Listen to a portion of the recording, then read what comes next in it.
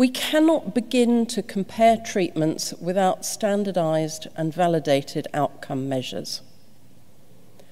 The ideal tool is developed with patient input, demonstrates the impact on patients' lives, is accepted by patients and surgeons, is usable in daily practice, and actually is internationally used so that we can all be globalized and compare treatments.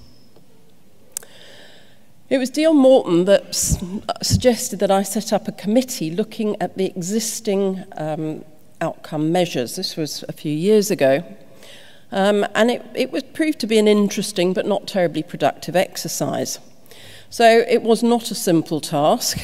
Um, we had to look at diaries, we had to look at historical scoring tools, we had to look at the new tools that have been developed using patient input. We had to look at disease specific quality of life tools and generic quality of life tools.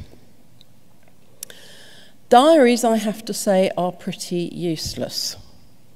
Um, and they've been shown, not in fecal incontinence, but in fact in diabetes, not to correlate in any way with electronic monitoring.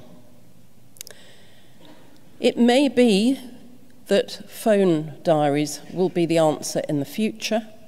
They certainly have been shown to be a lot more accurate and patients can't tuck a little bit of their own input into the diary if it's on a phone.